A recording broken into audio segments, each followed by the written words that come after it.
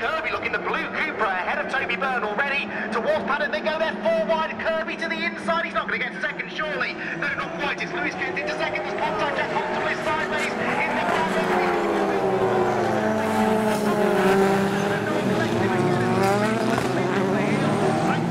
Managed to miss him and managed to have And through it.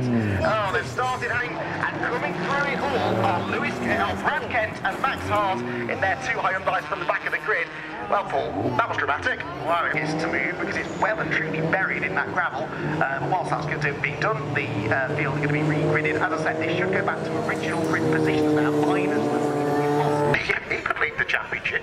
You know, Yes. there's no doubt that he couldn't do that. Um, you know, we did have it down as a bit of a two-horse race between Max um, and um, and So, oh, what I am led to believe is that the NGTC cars are a bit better. Oh, what a move! Absolutely slated down the inside, and Toby Oh, tell you what, these boys are having a proper march on it. And that's not where I want to be. Jamie Paul, I think he's damage.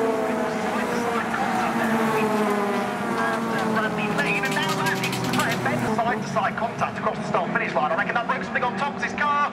Sideways, spinning in the background. That, I'm afraid, is Ross Darlington. He collected another car there as he spun at Graham Hill Bend. Reverse grid races, hey, especially when you throw in a bit of drizzle in the air, they were always guaranteed to provide drop move. George told me yesterday that he was good driving in yesterday's first race.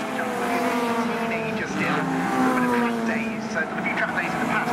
The outside of Dalzell Lane, to the outside of Camp. That one in the sprint for Alistair Camp, who to turn a defensive move into an attacking move on Buki and Camp Haddock. He's sideways, is the area motorsport driver seizing a situation. That's not what they uh, no, it's uh, certainly not what Dan Thackeray wants because he's already on the tail of Ben Sharp. I think Ben could do with a breather really, couldn't he? Maybe a safety car could be a... Ah, that's good news. Rydell Zell's car fires back up again and off he goes. Really shock people into that situation, can't you?